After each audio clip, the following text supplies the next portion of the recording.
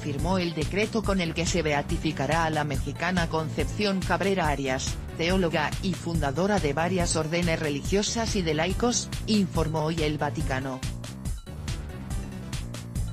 Francisco firmó ayer, en la audiencia que concedió al prefecto de la Congregación para la Causa de los Santos, Angelo Amato, el decreto que atribuye un milagro por la intercesión de la conocida como Conchita Cabrera, madre de nueve hijos que nació en San Luis de Potosí en 1862 y murió en Ciudad de México en 1937.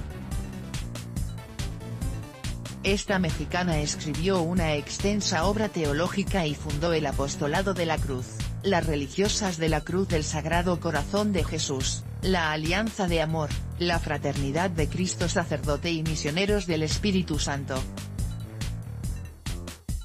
Cabrera había sido declarada venerable por el Papa Juan Pablo II el 20 de diciembre de 1999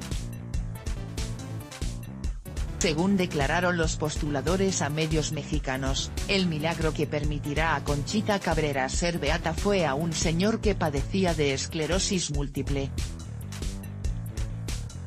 El camino hacia la santidad tiene varias etapas, la primera es venerable siervo de Dios, la segunda beato y la tercera santo. Para que un venerable sea beatificado es necesario que se haya producido un milagro debido a su intercesión y para que sea canonizado, santo, es necesario un segundo milagro, obrado por intercesión después de ser proclamado beato.